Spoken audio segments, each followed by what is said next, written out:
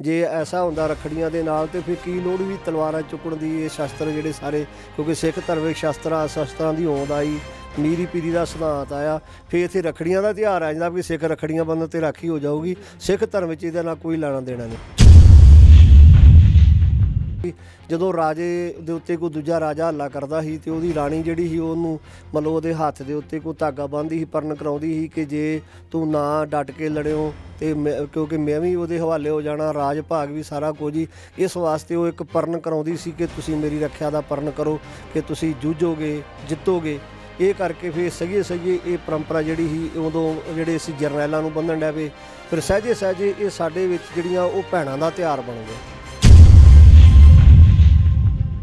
ਜਿਵੇਂ ਗੁਰੂ ਨਾਨਕ ਪਾਤਸ਼ਾਹ ਜੀ ਜਿਹੜੇ ਵਪਾਰੀ ਲੋਕ ਉਹਨਾਂ ਕਿਹਾ ਵੀ ਜਿਹੜੇ ਸਿੱਖ ਆ, ਇਹ ਕਿਦਾਂ, ਕਿਹੜੇ ਤਰੀਕੇ ਨਾਲ ਜਿਹੜੇ ਆ ਵੀ ਇਹ ਤਿਉਹਾਰ ਵਿੱਚ ਆ ਸਕਦੇ ਆ।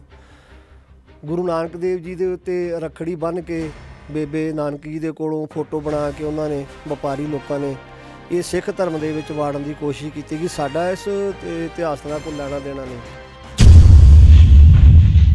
ਸਿੱਖ ਇਤਿਹਾਸ ਵਿੱਚ ਜਿੰਨੇ ਵੀ ਸਾਡੇ ਮਹਾਨ ਯੋਧੇ ਹੋਏ ਆ, ਬਾਬਾ ਦੀਪ ਸਿੰਘ, ਜਿਨ੍ਹਾਂ ਨੇ ਧੀਆਂ ਭੈਣਾਂ ਛਡਵਾਈਆਂ ਵਾ, ਉਹਨਾਂ ਦੇ ਉਹਨਾਂ ਰਖੜੀਆਂ ਨਹੀਂ ਸੀ ਬੰਦੀਆਂ ਉਹਨਾਂ ਨੂੰ ਘਰੋਂ ਘਰ ਪਹੁੰਚਾਇਆ ਗਿਆ, ਪਰ ਜਿਨ੍ਹਾਂ ਦੇ ਰਖੜੀਆਂ ਬੰਦੀਆਂ ਸੀ, ਉਹਨਾਂ ਨੀਵੀਆਂ ਪਾ ਲੀਆਂ ਕੋਈ ਉਦੋਂ ਬੋਲਿਆ ਨਹੀਂ। ਸਿੱਖ ਧਰਮ ਦੇ ਵਿੱਚ ਜਿਹੜੀ ਰੱਖਿਆ ਦੀ ਗੱਲ ਹੈ ਗੁਰੂ ਗ੍ਰੰਥ ਸਾਹਿਬ ਦੀ ਪਾਵਨ ਬਾਣੀ ਵਿੱਚ ਵੀ ਸਾਹਿਬਾਂ ਨੇ ਬੜੇ ਬੜੇ ਹਵਾਲੇ ਦਿੱਤੇ ਆ ਕਿ ਸਭ ਤੋਂ ਵੱਡੀ ਰੱਖਿਆ ਕਰਨ ਵਾਲਾ ਪਰਮੇਸ਼ਰ ਹੈ। ਰਾਖੋ ਰਾਖਣਹਾਰ ਦਿਆਲਾ, ਨਾਨਕ ਘਰ ਕੇ ਗੋਲੇ। ਸਾਡੇ ਦੇ ਸਿੱਖ ਧਰਮ ਦੇ ਵਿੱਚ ਜਿਹੜੇ ਜਿੰਨੇ ਵੀ ਜਰਨੈਲ ਹੋਏ ਆ, ਉਹਨਾਂ ਨੂੰ ਰੱਖੀ ਬੰਦੀ ਲੋੜ ਦੀ ਵੀ ਕਾਲੀ ਫੂਲਾ ਸਿੰਘ ਆ, ਹਰੀ ਸਿੰਘ ਨਲੂਆ ਸੀ, ਜਿੰਨੇ ਵੀ ਸ਼ਾਮ ਸਿੰਘ ਅਟਾਰੀ ਹੈ ਉਹਨਾਂ ਨੂੰ ਇਹ ਥੋੜਾ ਕਿਹਾ ਵੀ ਤੁਸੀਂ ਸਾਡੀ ਰਾਖੀ ਕਰਨੀ, ਉਹਨਾਂ ਨੇ ਆਪਣੇ ਆਪ ਹੀ ਉਹਨਾਂ ਦੇ ਜਜ਼ਬਾ ਜਾਂ ਉਹਨਾਂ ਨੇ ਆਪਣੇ ਜਜ਼ਬਾਤਾਂ ਦੇ ਨਾਲ ਹੀ ਕਿਉਂਕਿ ਸਿੱਖ ਧਰਮ ਦੇ ਵਿੱਚ ਅੱਜ ਵੀ ਦੁਨੀਆ ਵਿੱਚ ਨਾਂ ਖੱਟਿਆ ਉਹਨਾਂ ਨੇ ਇਹ ਜਿਹੜਾ ਵਾ। ਉਹ ਦੂ- ਦੂਜਿਆਂ ਦੀਆਂ ਧੀਆਂ ਭੈਣਾਂ, ਅੱਜ ਵੀ ਸਿੱਖ ਜਿਹੜੇ ਆ ਧੀਆਂ ਭੈਣਾਂ ਦੀ ਰਾਖੀ ਕਰਦੇ ਆ, ਪਿਛੇ ਜਦੋਂ ਦਿੱਲੀ ਦੇ ਵਿੱਚ ਇੱਕ ਬਜ਼ੁਰਗ ਨੇ ਹੀ ਤਲਵਾਰ ਚਲਾ ਕੇ ਤੇ ਧੀਆਂ ਦੀ ਰਾਖੀ ਕੀਤੀ। ਤੇ ਭੈਣ ਵੀ ਆ ਕੇ ਕਹਿੰਦੀਆਂ ਵਾ, ਵੇਖੋ, ਦੂਜੇ ਦੇ ਭਰਾ ਨੇ ਵਧੀਆ ਤੂੰ ਕੋਈ ਜ਼ਿਆਦਾ ਗੁਰੂ ਨਾਨਕ, ਜਿਹਦਾ ਕਹੇ ਪਹਿਲਾ ਫੋਟੋ ਦੇ ਉੱਤੇ ਨੇ ਗੁਰੂ ਨਾਨਕ ਦੇਵ ਦੀ, ਜਿਹੜੀ ਉਹ ਰੱਖੜੀ ਆ ਮੰਨਦਾ ਤਾਂ ਗੁਰੂ ਨਾਨਕ ਹੀ ਵਧੀਆ ਤੂੰ ਉਹਦੇ ਨਾਲੋਂ ਵੱਡਾ ਥੋੜਾ ਹੈਗਾ ਹੁਣ ਅਸਲ 'ਚ ਗੱਲ ਇਹ ਆ ਵੀ ਇਹ ਸਾਰਾ ਦੇਖਾ ਦੇਖੀ ਕਰਕੇ ਚੱਲ ਰਿਹਾ, ਪਰ ਮੈਂ ਜਿੱਥੋਂ ਤੱਕ ਗੁਰਮੰਤ ਅਨੁਸਾਰ ਕਹ ਲਈਏ ਵੀ ਜਿਹੜਾ ਅੰਮ੍ਰਿਤਧਾਰੀ ਬੰਦਾ ਜਾਂ ਗੁਰੂ ਦੀ ਸਿੱਖਿਆ ਤੇ ਚੱਲਣ ਵਾਲਾ ਬੰਦਾ ਵਾ, ਉਹ ਇਹਨਾਂ ਕਹਿ ਸਕਦਾ, ਭੈਣ, ਤੂੰ ਆਪਣੀ ਰੱਖਿਆ ਆਪ ਕਰ, ਹੁਣ ਤੇ ਇੱਕ ਹੋਰ ਹੁਣ ਤੇ ਸਗੋਂ ਭਰਾ ਭੈਣ ਨੂੰ ਰੱਖੜੀ ਬੰਨੇ। ਕਿ ਤੂੰ ਮੇਰੀ ਰੱਖਿਆ ਕਰੀ, ਪਤਾ ਨਹੀਂ ਮੈਂ ਕਿੱਥੇ ਡਿੱਗ ਪੈਣਾ ਵਾ, ਕੋਈ ਟੀਕਾ ਲੱਗ ਗਿਆ, ਕੋਈ ਨਸ਼ਾ ਜ਼ਿਆਦਾ ਕਰ ਲਿਆ ਤੇ ਚੁੱਕ ਕੇ ਲਿਆ ਕੇ ਮੰਜੇ ਦੇ ਪਾ ਕੇ ਘਰ ਮੈਨੂੰ ਲੈ ਆਓ ਹੁਣ ਤੇ ਹਾਲਾਤ ਭੈਣ ਦੀ, ਉਹਨੇ ਰੱਖੀ ਕਿੱਥੋਂ ਕਰਨੀ, ਉਹ ਤੇ ਕਹੀ ਆ, ਭੈਣ ਕੋ ਭੈਣਾਂ ਦੀ, ਵੀਰਾ ਵੀਰਾ ਮੇਰੇ ਘਰ ਨਾ ਆਈ, ਕਿਉਂਕਿ ਉੱਥੇ ਤੂੰ ਆ ਕੇ ਪਤਾ ਨਹੀਂ ਕੋਈ ਚੋਰੀ ਚਾਰੀ ਕਰ ਲਈ ਤੇ ਸਾਰੀ ਉਮਰ ਮੈਨੂੰ ਤਾਨੇ ਮੇਣੇ ਮਿਲਣੇ ਆ, ਹਾਂਜੀ। ਵਾਹਿਗੁਰੂ ਜੀ ਕਾ ਖਾਲਸਾ, ਵਾਹਿਗੁਰੂ ਜੀ ਕੀ ਫਤਿਹ। ਤੁਸੀਂ ਜੁੜੇ ਹੋਏ ਹੋ ਨਰਵੈਰ ਟੀਵੀ ਦੇ ਨਾਲ ਔਰ ਮੈਂ ਮਨਦੀਪ ਸਿੰਘ।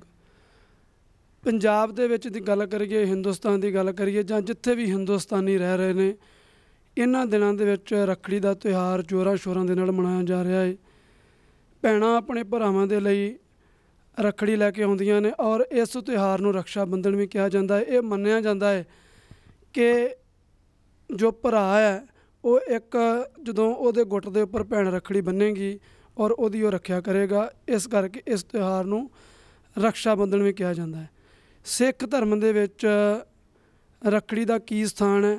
ਰੱਖੜੀ ਦੇ ਤਿਉਹਾਰ ਦਾ ਕੀ ਇਤਿਹਾਸ ਹੈ? ਉਹ ਆਪਾਂ ਸਾਰੀ ਗੱਲਬਾਤ ਕਰਨੀ ਹੈ। ਅੱਜ ਮੇਰੇ ਨਾਲ ਬੈਠੇ ਨੇ ਭਾਈ ਪ੍ਰਗਟ ਸਿੰਘ ਜੀ ਤਿੰਮਵਾਲ, ਜੋ ਕਿ ਉੱਗੇ ਕਥਾਵਾਚਕ ਵੀ ਨੇ ਔਰ ਉੱਗੇ ਸਮਾਜ ਸੇਵਕ ਵੀ ਨੇ। ਉਹਨਾਂ ਦੇ ਨਾਲ ਗੱਲਬਾਤ ਕਰਾਂਗੇ। ਸਭ ਤੋਂ ਪਹਿਲਾਂ ਫਤਿਹ ਦੀ ਸਾਂਝ ਪਾਉਂਦੇ ਆ ਵਾਹਿਗੁਰੂ ਜੀ ਕਾ ਖਾਲਸਾ। ਵਾਹਿਗੁਰੂ ਜੀ ਕੀ ਫਤਿਹ। ਭਾਈ ਸਾਹਿਬ ਜੀ ਰੱਖੜੀ ਦੇ ਤਿਉਹਾਰ ਦੇ ਦਿਨ ਚੱਲ ਰਹੇ ਨੇ ਔਰ ਸਾਰੇ ਬਾਜ਼ਾਰ ਮੰਜਿਆਂ ਦੇ ਨਾਲ ਭਰੇ ਪਏ ਨੇ, ਅਨੇਕਾਂ ਹੀ ਰੱਖੜੀਆਂ ਨੇ ਔਰ ਭੈਣਾਂ ਆਪਣੇ ਵੀਰਾਂ ਦੇ ਕੋਲ ਰੱਖੜੀਆਂ ਲੈ ਕੇ ਜਾਂਦੀਆਂ ਨੇ ਆਪਣੇ ਸਹੁਰਿਆਂ ਤੋਂ ਪੇਕੇ ਘਰ ਦੇ ਵਿੱਚ। ਸ- ਇਹਦਾ ਇਤਿਹਾਸ ਕੀ ਹੈ ਰੱਖੜੀ ਦਾ? ਬਹੁਤ ਸਾਰੇ ਲੋਕ ਆਪਣੇ ਆਪ ਕਾਰੋਬਾਰ ਛੱਡ ਕੇ ਕੋਈ ਇੱਧਰ ਨੂੰ ਦੌੜਿਆ ਜਾ ਰਿਹਾ, ਕੋਈ ਇੱਧਰ ਨੂੰ ਦੌੜਿਆ ਜਾ ਅਸਲ ਦੇ ਵਿੱਚ ਜੇ ਸਿ- ਸਿੱਖਾਂ ਦੇ ਵਿੱਚ ਇਹਦਾ ਇਤਿਹਾਸ ਕੀ ਹੈ ਜੀ? ਹਾਂਜੀ ਭਾਈ ਸਾਹਿਬ ਜੀ, ਪਹਿਲਾਂ ਤੇ ਸਾਰੀ ਸੰਗਤ ਦਾ, ਸਰੋਤਿਆਂ ਦਾ ਧੰਨਵਾਦ ਕਰਦੇ ਹਾਂ ਨਰਵੈਰ ਟੀਵੀ ਦਾ, ਭਾਈ ਮਨਦੀਪ ਸਿੰਘ ਹੁਣਾਂ ਦਾ, ਜਿਨ੍ਹਾਂ ਨੇ ਕਿਉਂਕਿ ਇਸ ਤਿਉਹਾਰ ਦੇ ਬਾਰੇ ਵਿਚਾਰ ਸਾਂਝੇ ਕਰਨ ਵਾਸਤੇ ਅਸੀਂ ਇਕੱਠੇ ਹੋਏ ਹਾਂ। ਬੇਨਤੀ ਹੈ ਕਿ ਕੁਝ ਇਤਿਹਾਸ ਜਿਹੜੇ ਜਿਨ੍ਹਾਂ ਨਾਲ ਸਾਡਾ ਕੋਈ ਸਬੰਧ ਨਹੀਂ ਜਾਂ ਕੋਈ ਲੈਣਾ ਦੇਣਾ ਨਹੀਂ, ਇਹ ਕੁਝ ਵਪਾਰੀ ਲੋਕਾਂ ਨੇ ਬਦੋ ਬਦੀਏ ਜਿਹੜਾ ਵਾ ਸਾਡੇ ਵਿੱਚ ਜਿਹੜਾ ਨੂੰ ਘਸੋਰਿਆ ਜਾ ਰਿਹਾ ਜਾਂ ਕਹਿ ਲਓ ਕਿ ਜਾਂ ਸਾਡੇ ਉੱਤੇ ਥੋਪਿਆ ਜਾ ਰਿਹਾ। ਜਿਵੇਂ ਗੁਰੂ ਨਾਨਕ ਪਾਤਸ਼ਾਹ ਜੀ ਜਿਹੜੇ ਵਪਾਰੀ ਲੋਕ, ਉਹਨਾਂ ਕਿਹਾ ਵੀ ਜਿਹੜੇ ਸਿੱਖ ਆ, ਇਹ ਕਿਦਾਂ, ਕਿਹੜੇ ਤਰੀਕੇ ਨਾਲ ਜਿਹੜੇ ਆ ਵੀ ਇਹ ਤਿਉਹਾਰ ਵਿੱਚ ਆ ਸਕਦੇ ਆ।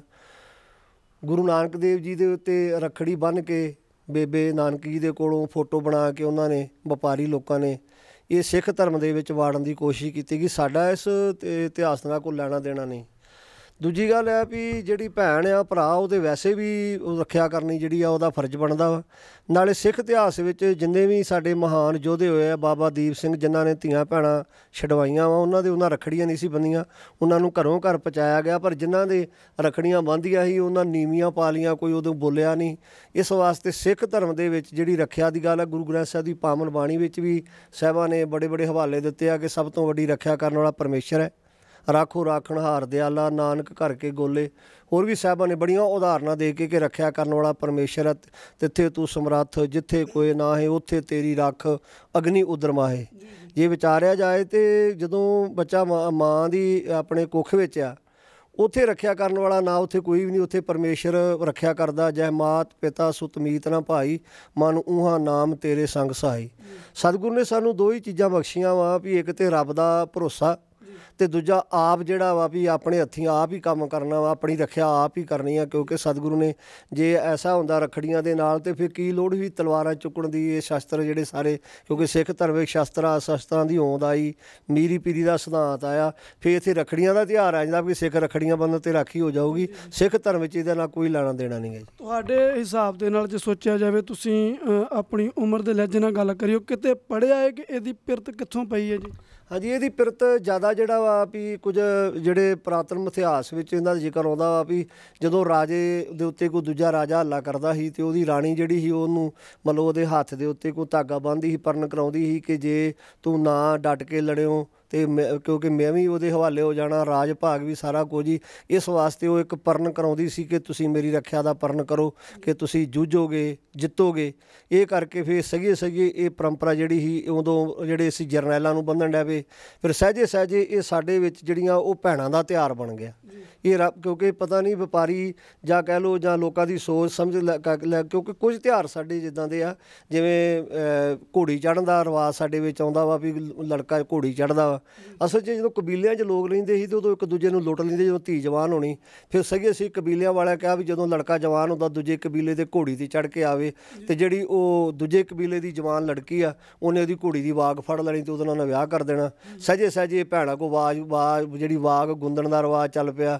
ਸਹਿ ਸੀ ਉਹਦੇ ਨਾਲ ਪੈਸੇ ਜੁੜ ਗਏ, ਕੁਝ ਇਦਾਂ ਹੀ ਚੀਜ਼ਾਂ ਜਿਹੜੀਆਂ ਨਾ, ਇਹ ਚੱਲ ਪਈਆਂ ਵਾ, ਇਹਦੇ ਵਿੱਚ ਕੋਈ ਜਿਹੜਾ ਵਾ ਜੇ ਵੇਖਿਆ ਜਾਵੇ ਤੇ ਇਹਦਾ ਪ੍ਰਾ, ਪ੍ਰਾਤਨ ਜਿਹੜਾ ਵਾ ਕੋਈ ਇਹਦਾ ਇਤਿਹਾਸ ਵੱਡਾ ਨਹੀਂ ਹੈਗਾ, ਜਿਹੜਾ ਵੀ ਇੱਕ ਦੂਜੇ ਨੂੰ ਪਰਨ ਕਰਾਉਣ ਵਾਲੀ ਗੱਲ ਸੀ। ਉਹ ਰਾਜੇ ਮਹਾਰਾਜੇ ਦੱਸਦੇ ਸੀ। ਸਾਡੇ ਤੇ ਸਿੱਖ ਧਰਮ ਦੇ ਵਿੱਚ ਜਿਹੜੇ ਜਿੰਨੇ ਵੀ ਜਰਨੈਲ ਹੋਏ ਆ, ਉਹਨਾਂ ਨੂੰ ਰੱਖੀ ਬੰਦੀ ਲੋੜ ਦੀ ਵੀ ਕਾਲੀ ਫੂਲਾ ਸਿੰਘ ਆ ਹਰੀ ਸਿੰਘ ਨਲੂਆ ਸੀ ਜਿੰਨੇ ਵੀ ਸ਼ਾਮ ਸਿੰਘ ਅਟਾਰੀ ਆ ਉਹਨਾਂ ਨੂੰ ਇਹ ਥੋੜਾ ਕਿਹਾ ਵੀ ਤੁਸੀਂ ਸਾਡੀ ਰਾਖੀ ਕਰਨੀ ਉਹਨਾਂ ਨੇ ਆਪਣੇ ਆਪ ਹੀ ਉਹਨਾਂ ਦੇ ਜਜ਼ਬਾ ਜਾਂ ਉਹਨਾਂ ਨੇ ਆਪਣੇ ਜਜ਼ਬਾਤਾਂ ਦੇ ਨਾਲ ਹੀ ਕਿਉਂਕਿ ਸਿੱਖ ਧਰਮ ਦੇ ਵਿੱਚ ਅੱਜ ਵੀ ਦੁਨੀਆ ਵਿੱਚ ਨਾਂ ਖੱਟਿਆ ਉਹਨਾਂ ਨੇ ਇਹ ਜਿਹੜਾ ਵਾ ਇਹਦੇ ਵਿੱਚ ਕੋਈ ਜ਼ਿਆਦਾ ਨਹੀਂ ਉਹ ਤੇ ਉਹਨਾਂ ਦੀਆਂ ਭੈਣਾਂ ਵੀ ਨਹੀਂ ਸੀ ਉਹ ਤਾਂ ਕਿਸੇ ਦੀਆਂ ਧੀਆਂ ਭੈਣਾਂ ਛਡਾਉਂਦੇ ਉਹ ਦੂਜਿਆਂ ਦੀਆਂ ਧੀਆਂ ਭੈਣਾਂ ਅੱਜ ਵੀ ਸਿੱਖ ਜਿਹੜੇ ਆ ਧੀਆਂ ਭੈਣਾਂ ਦੀ ਰਾਖੀ ਕਰਦੇ ਆ ਪਿਛੇ ਜਦੋਂ ਦਿੱਲੀ ਦੇ ਵਿੱਚ ਇੱਕ ਬਜ਼ੁਰਗ ਨੇ ਹੀ ਤਲਵਾਰ ਚਲਾ ਕੇ ਤੇ ਧੀਆਂ ਦੀ ਰਾਖੀ ਕੀਤੀ ਇਹ ਤੇ ਅੱਜ ਵੀ ਜਿਹੜਾ ਵਾ ਰੱਖੜੀ ਬੰਨ੍ਹਣ ਦੇ ਨਾਲ ਨਹੀਂ ਨਾਲੇ ਇਹ ਕਿਹੜਾ ਤਿਉਹਾਰ ਆ ਜਿਹੜਾ ਭੈਣ ਨੂੰ ਜਿਹੜਾ ਵਾ ਚੇਤਾ ਕਰਾਉਣਾ ਪੈਂਦਾ ਸਾਲ ਬਾਅਦ ਵੀ ਨਿਊ ਕਰਾਉਣਾ ਪੈਂਦਾ ਵੀ ਮੇਰਾ ਭਰਾ ਹੀ ਆ।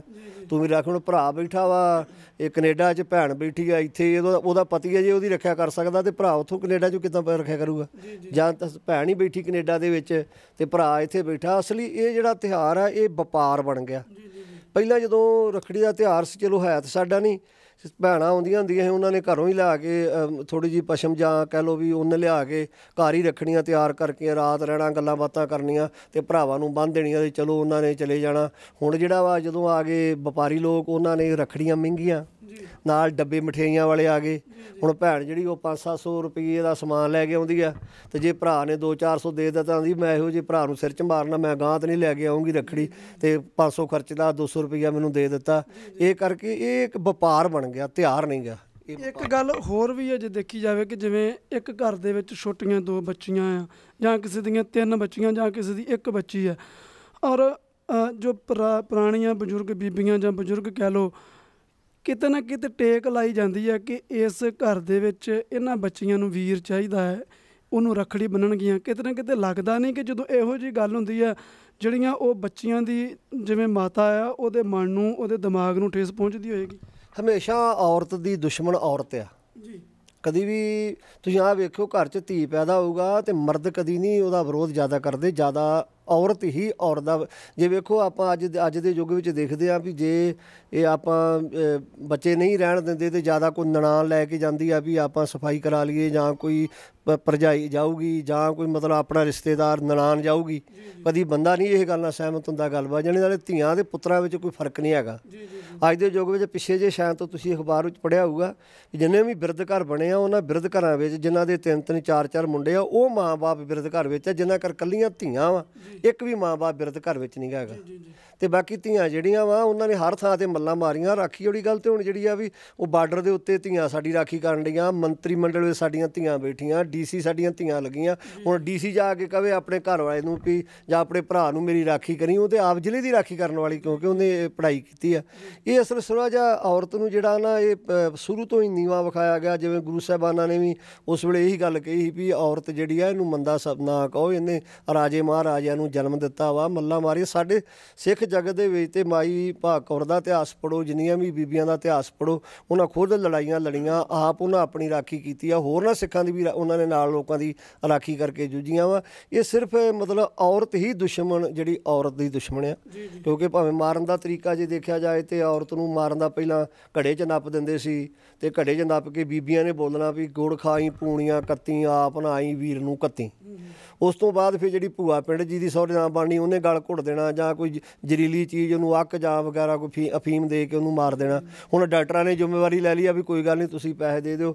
ਤੇ ਪਰ ਸਮਾਜ 'ਚ ਦੇਖਿਆ ਜਾਵੇ ਧੀਆਂ ਦੇ ਪੁੱਤਰਾਂ ਦੇ ਵਿੱਚ ਕੋਈ ਅੰਤਰ ਨਹੀਂ ਗਾ ਰਿਹਾ ਵੀ ਜੇ ਕਹੋ ਵੀ ਪੁੱਤਰੀ ਜਿਹੜੇ ਤੁਹਾਡੀ ਸਹਾਇਤਾ ਕਰਨਗੇ ਜਾਂ ਪੁੱਤਰ ਬਰਾਬਰ ਆ ਗੁਰਬਾਣੀ ਵਿੱਚ ਵੀ ਕਈ ਹਵਾਲੇ ਦੇਣਗੇ ਸਾਡੇ ਆਮ ਕੀ ਗੁਰਬਾਣੀ ਵਿੱਚ ਆਉਂਦਾ ਵੀ ਕੰਚ ਟੁੱਟੇ ਸਾਰ ਅਗਨੀ ਗੰਢ ਪਾਏ ਲੋਹਾਰ ਗੋਰੀ ਸੇਤੀ ਟੁੱਟੇ ਪਤਾਰ ਪੁੱਤੀ ਗੰਢ ਪਵੇ ਸੰਸਾਰ।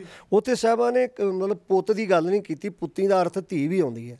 ਕਿਉਂ, ਕਿਉਂਕਿ ਉਹਨਾਂ ਨਾਲ ਸੰਸਾਰ ਦੀ ਗੰਢ ਪੈਂਦੀ ਕਿ ਦੋਵਾਂ ਜੀਆਂ ਦੀ ਵਿਕੜ ਵੀ ਜਾਵੇ ਤੇ ਧੀਆਂ ਬੱਚਿਆਂ ਦੇ ਨਾਲ ਜਿਹੜਾ ਉਹਨਾਂ ਦਾ ਫੇਰ ਪਿਆਰ ਜਿਹੜਾ ਬਣ ਜਾਂਦਾ। ਇੱਕ ਗੱਲ ਹੋਰ ਵੀ ਹੈ, ਜਿਵੇਂ ਆਪਾਂ ਗੁਰਮਤ ਦੀਆਂ ਗੱਲਾਂ ਕਰ ਰਹੇ ਹਾਂ ਕਿ ਜੋ ਪੁਰਾਣੇ ਬਾਬਾ ਦੀਪ ਸਿੰਘ ਦੀ ਗੱਲ ਕਰੀਏ ਜਾਂ ਅਨੇਕਾਂ ਹੀ ਪੁਰਾਤਨ ਸਿੰਘ ਜੋ ਬਗਾਨਿਆਂ ਦੀਆਂ ਧੀਆਂ ਭੈਣਾਂ ਛਡਾ ਕੇ ਲੈ ਕੇ ਆਉਂਦੇ ਰਹੇ, ਉਦੋਂ ਕਿਹੜਾ ਰੱਖੜੀ ਦਾ ਤਿਉਹਾਰ ਹੁੰਦਾ ਸੀ ਜਾਂ ਉਹ ਕਿਹੜਾ ਉਹਨਾਂ ਨੂੰ ਰੱਖੜੀ ਬੰਨ੍ਹਦੀਆਂ ਸੀ। ਪਰ ਜੇ ਅੱਜ ਦੀ ਗੱਲ ਕਰੀਏ, ਸਾਡੇ ਅੰਮ੍ਰਿਤਧਾਰੀ ਸਿੰਘ ਜਿਨ੍ਹਾਂ ਨੇ ਕਿ ਚੜ੍ਹਦੀ ਕਲਾ ਵਾਲੇ ਜੀਵਨ ਵੀ ਹੁੰਦੇ ਆ ਉਹ ਵੀ ਆਪਣੇ ਗੁੱਟ ਦੇ ਉੱਪਰ ਰੱਖੜੀਆਂ ਬੰਨ੍ਹਦੇ ਆ।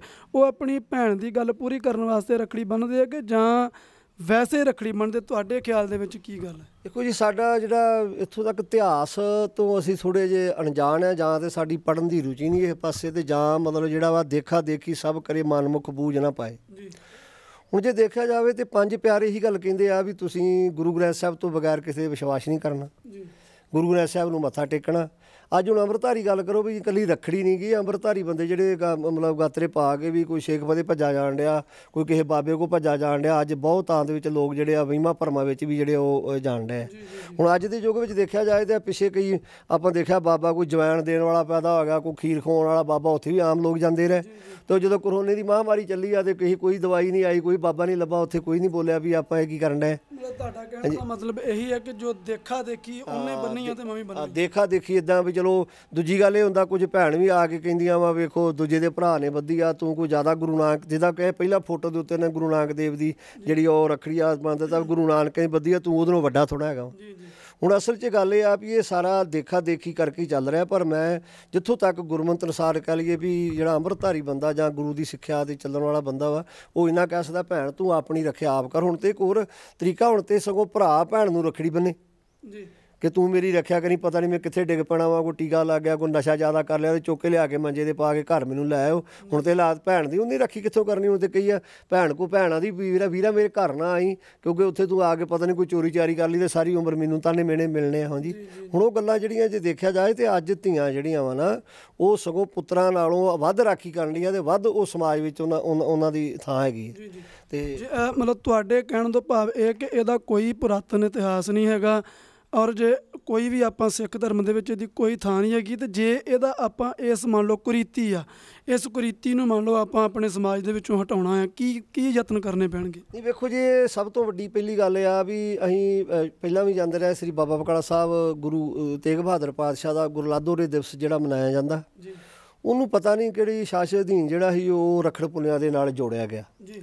ਹੁਣ ਜਦੋਂ ਵੀ ਕੋਈ ਉੱਥੇ ਸਾਡਾ ਬੁਲਾਰਾ ਬੋਲਦਾ ਵਾ ਕਈ ਅਸੀਂ ਜਿਹੜੇ ਆਗੂ ਵੇਖੇ ਆ ਜਿਹੜੇ ਉਹ ਵੀ ਬੋਲਦੇ ਜੀ ਰਖੜੀ ਦਾ ਪਵਿੱਤਰ ਤਿਉਹਾਰ ਗੁਰੂ ਤੇਗ ਬਹਾਦਰ ਪਾਤਸ਼ਾਹ ਦਾ ਨਾਂ ਨਹੀਂ ਜੀ ਜੀ। ਰਖੜੀ ਦਾ ਪਵਿੱਤਰ ਤਿਉਹਾਰ ਜੀ ਰਖੜੀ ਦੇ ਪਵਿੱਤਰ ਤਿਉਹਾਰ ਤੇ ਤੁਸੀਂ ਆਏ ਜੇ ਦੱਸੋ ਪਵਿੱਤਰ ਤਿਉਹਾਰ ਸਾਡਾ ਤੇ ਗੁਰੂ ਤੇਗ ਬਹਾਦਰ ਪਾਤਸ਼ਾਹ ਦਾ ਗੁਰਲਾਦੋ ਦਿਵਸ ਹੈ ਜਾਂ ਗੁਰਗੱਦੀ ਦਿਵਸ ਹੈ ਤੇ ਇਹਨੂੰ ਮਤਲਬ ਪਤਾ ਨਹੀਂ ਕਿਹੜੇ ਹਾਸ਼ਦੀਨ ਜਿਹੜਾ ਰਖੜ ਪੁੰਨਿਆ ਦਾ ਨਾਂ ਦਿੱਤਾ ਗਿਆ। ਹੁਣ ਬਾਬੇ ਬਕਾਲੇ ਸਾਹਿਬ ਜਦੋਂ ਗੱਲ ਚੱਲਦੀ ਆ ਰਖੜ ਪੁੰਨਿਆ ਦੇ ਮੇਲੇ ਦੀ ਚੱਲਦੀ ਆ ਗੁਰੂ ਤੇਗ ਬਹਾਦਰ ਪਾਤਸ਼ਾਹ ਦਾ ਤੇ ਨਾਮ ਮੈਂ ਵੇਖਿਆ ਨਹੀਂ ਸਾਡੇ ਵੀ ਤੇ ਇੱਥੇ ਆ ਕਰ ਆਏ ਸੀ, ਉਹ ਆ ਕੇ ਬੋਲਣ ਲੱਗੇ, ਲੀ- ਵੀ ਲੀਡਰ ਵੀ ਰਖੜ ਪੁੰਨਿਆ ਦਾ ਪਵਿੱਤਰ ਤਿਉਹਾਰ ਤੇ। ਮੈਂ ਕਿਹਾ ਮੈਨੂੰ ਪਵਿੱਤਰ ਦੱਸ ਇਹਦੀ ਪਵਿੱਤਰਤਾ ਕੀ ਇਹਦੀ? ਜੀ ਜੀ।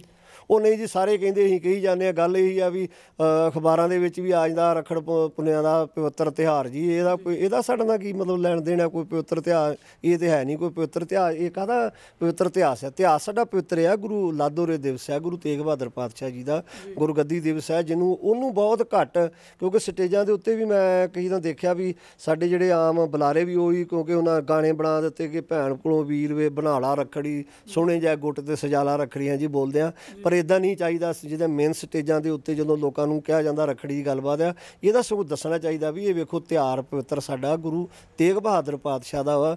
ਹੁਣ ਜਦੋਂ ਉਹ ਤਿਉਹਾਰ ਮਿਸ ਜਿਹੜਾ ਸੀ ਸਾਡਾ, ਉਹ ਜੋੜਿਆ ਗਿਆ, ਸਾਡੇ ਸਿਰ ਜਿਹੜਾ ਸੀ ਉਹ ਥੋਪਿਆ ਗਿਆ, ਸਾਡੇ ਸਿਰ ਮੜਿਆ ਗਿਆ, ਉਹਦੇ ਨਾਲ ਵੀ ਹੁਣ ਲੋਕਾਂ ਵਿੱਚ ਬੜਾ ਜਿਹੜਾ ਵਾ ਵੀ ਉਹ ਰੱਖੜੀ ਦਾ ਮੇਲਾ ਜੀ ਪਵਿੱਤਰ ਆ, ਵੇਖੋ ਮਨਾਇਆ ਜਾਂਦਾ ਵਾ। ਇਹ ਕਰਕੇ ਜਿਹੜਾ ਅਸੀਂ ਉਹਦੇ ਤੇ ਰੱਖੜੀ ਦਾ ਕੋਈ ਲੈਣਾ ਦੇਣਾ ਨਹੀਂ ਹੋਈਦਾ ਇਸ ਮੇਲੇ ਦੇ ਨਾਲ, ਜੋੜ ਮੇਲੇ ਨਾਲ। ਜੀ ਜੀ। ਜੇਕਰ ਅੰਤ ਸਮੇਂ ਦੀ ਆਪਾਂ ਗੱਲ ਕਰਦੇ ਹਾਂ ਆਪਾਂ ਸਮਾਪਤੀ ਕਰ ਰਹੇ ਹਾਂ।